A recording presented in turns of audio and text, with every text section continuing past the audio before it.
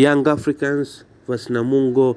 Uh, Young Africans lazima wakishe wanakuwa 100% kuna ufundi eh, kuweza kupata matokeo uh, so lazima wakishe wana improve eh, kuna striker finishing, speed football, game speed, game tactics, overlap finishing, control play na kuna shooting eh, shooting high eh, ya top left, top right, top center lazima wahakikishe wanakuwa 100%.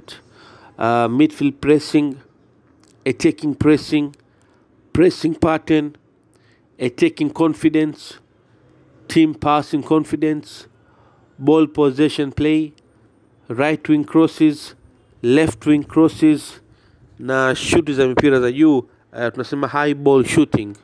Uh, lazima wahakikishe wanakuwa 100% eh, kuweza kupata matokeo kwa sababu bado Young Africans wana matatizo eh, ya, ya, ya finishing uh, na team finishing na striker finishing. Eh, bado Yanga wana matatizo eh, kwenye finishing, so lazima wa improve uh, kuweza kupata matokeo. Uh, kwa sababu Namungo ni timu ambayo wanapambana kiufundi, wana wachezaji wazuri.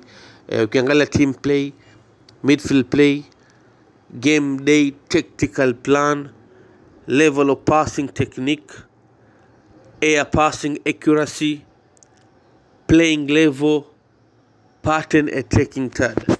So ni timu ambayo inapambana eh, kiufundi eh, so lazima ni timu nzuri eh, so haitokuwa mechi rahisi kwa Young Africans.